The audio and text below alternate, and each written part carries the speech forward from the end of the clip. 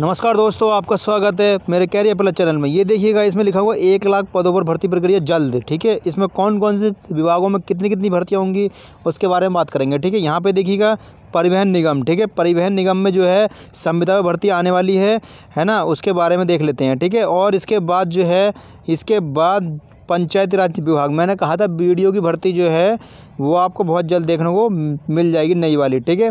और इसके बाद जो है आंगनवाड़ी केंद्रों में भर्ती। ये से आप सब लिखा हुआ है ये देखिएगा यहाँ पे, आंगनवाड़ी केंद्रों में जल्द शुरू होगी भर्ती, ठीक है?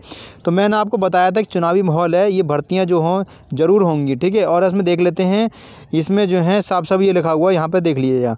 यहाँ पर लिखा हुआ है कि मुख्यमंत्री योगी जी ने कहा है कि प्रदेश में सरकारी विभागों में साफ़ साफ़ लिखा हुआ है एक लाख पदों पर भर्ती जल्द प्रक्रिया शुरू हो जाएगी, ठीक है? शाम है ना?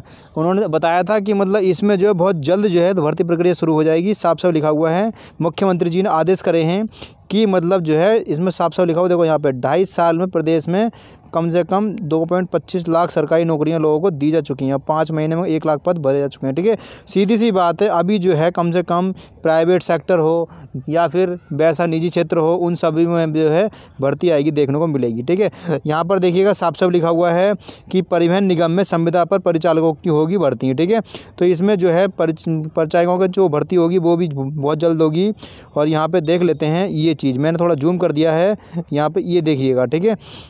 सीधी सी बात इसमें लिखा हुआ है, जो इसमें साफ़ साफ़ लिखा हुआ परिचालक रोडवेज़ में संविदा पर जो है परिचालकों की भर्तियों का रास्ता साफ़ हो चुका है, ठीक है? नगर निगम में कितने कितने पोस्ट होंगे, कहाँ कहाँ पे कौन कौन ज़िले में सब यहाँ पे लिखा हुआ है, ठीक है? यहाँ से देखिएगा, ये चीज़ सब कुछ लिखी हुई है, ये भर्तियाँ होंगी, ठीक है? इसके बाद लिखा हुआ है पंचायती राज विभाग, ठीक है? पंचायती राज विभाग में भी जो है, इसमें लिखा हुआ नीति आउटसोर्सिंग से रखे जाएँगे कर्मी, ठीक है?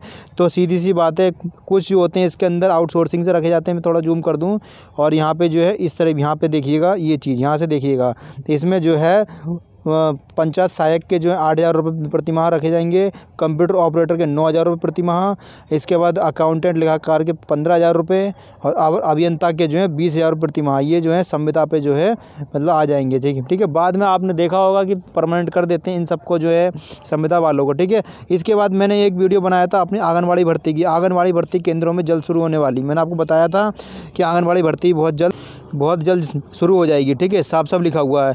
तो से सीधी सी बात, शहरी और ग्रामीण क्षेत्रों में जो है दो सौ छप्पन केंद्रों पर आंगनबाड़ी जो कार्यकर्ता, तीन सौ सोलह सहायिका को मतलब इतने इतने पदों पर भर्ती जो है, वो बहुत जल्द जो है एक महीने में जो इसकी निकलने वाली है, ठीक है? अब आपने देखा भी होगा कि चुनावी माहौल है और चुनावी माहौल में हर कोई चाहता है कि दो हज़ार बाईस का इलेक्शन है तो उससे पहले पहले जो है हर विभागों में भर्ती की जाए, ठीक है? तो सीधी सी बात है, इन विभागों में भर्ती निकल जाएगी। और आप हमारे चैनल पर अगर नए हैं तो चैनल को सब्सक्राइब कर लीजिए पहला आइकन प्रेस कर लीजिए, जिससे कोई भी इन्फॉर्मेशन आएगी पल पल की इन्फॉर्मेशन आप तक आप तक जो है पहुँच जाएगी, ठीक है? Please subscribe my YouTube channel career plus thank you very much